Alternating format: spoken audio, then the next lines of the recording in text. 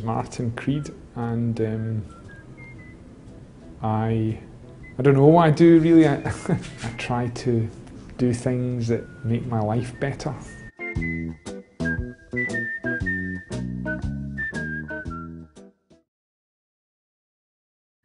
Martin Creed is a unique, minimalistic artist and musician, born in Wakefield, England in 1968. Creed wasn't able to decide what path in life to choose because he was interested in architecture, music, psychology, and literature. He decided to become an artist because he felt that art incorporated all of his interests. Creed is likable with or without his art because he has a different take on what he thinks art should be. Very small way, the balloons is a bit like some kind of like waves or like the sea or something like that, you know. But you know, but in, but there's no competition. You know, the the outside wins. You know, when you make a sculpture, it's um, it's difficult to decide what shape to make it. And um, I was thinking maybe it's possible to make a sculpture that just takes on the shape of the room in which it's exhibited. An important theme was very early on was this notion of performativity or play. Martin Creed's work, which is perhaps the most obviously playful work with all these thousands and thousands of balloons that people can go and run around in and, and, and, and enjoy. In a way, this work mm, it tries to um, make visible, you know, something which is normally invisible. That is the space between people. You know, I do things because I want to show them to people. So without other people, the, the things I do are not. Um, uh, I don't think they mean anything. You know, in other words, it takes on the shape of the people as well as the shape of the room. You know. Creed enjoys seeing the reactions on people's faces after viewing his art. He says, quote, Art is just things in the world, usually an arrangement of color and shapes. It's people who have the feelings and reactions. End quote. He rearranges the rules of art and tries to show the relationship of art and reality by using more than a canvas. His art is kept simple, but he makes sure that there is meaning within his art to capture the audience. Creed enjoys expressing himself through different ways by making things and trying to communicate with others through his work. For example, when he creates words with neon lights. One of his famous neon lights reads, Mothers, in human size. The mother's art rotates above the viewer's head, and when walking underneath it, people can feel the pressure of air when it approaches.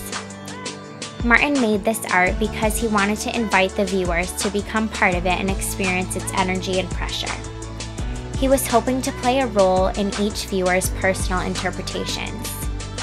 He says, I search for absurdity and feeling. I want to make my work, so to speak, to be silly. I want to make things that are stupid and that contrast with which is around it. one of the more memorable introductions I've read to a, um, an artist describing his own career to date. Um, the experience of doing it is like having a cat uh, having its nose rubbed in its own shit. um, you also say that art is shit. Um, that art gallerists are like, um, I think, toilet room attendants. um, that curators are, uh, no, oh, artists are bullshitters. No, maybe curators are like uh, toilet room attendants. I can't remember. Which seemed seemed um, pretty disillusioned, really, with the with the whole art scene. Have you become more disillusioned as you as you've progressed? Uh, oh, I didn't mean it in a, in that way. I didn't. I didn't really. I'm quite it. sad to hear that you didn't mean it. Well, I didn't mean it in in a. I didn't mean it in a dis, disillusioned way, really. In a in a slightly sceptical or cynical way, though. Well, I think our, you know, I think that that shit is. Uh, you know, shit's what people make, uh, and, and, and, and, and art is what, what people make. So it's not, I think it's not so, um, and, you know, I think that the, the, the things people make, which is what might be called art, is, is um, the stuff that comes out of, it's the, what comes out of you. And since shit is the most simple, basic thing that comes out of you, you know, that, that's, that's what got me to thinking that art galleries are like toilets. Creed has also made a number of colorful paintings with acrylic, oil, and water. These paintings are hung at a height to match the visitor's eye when standing directly in front of them. These paintings usually consist of stripes of color on white canvas, but do not reveal any words or images. This is done because Creed wants to invite the viewer to use their imagination and personal experiences to determine what the art is. For example, when Creed writes, Everything is gonna be alright across a ruined building in one of London's lowest income areas, he means just that, but exactly what that means is up to the viewer. To Martin Creed, fear is one of his deepest anxieties. He feels that if he can translate that into his work, it would be an accomplishment. In doing so, people may connect and understand him better.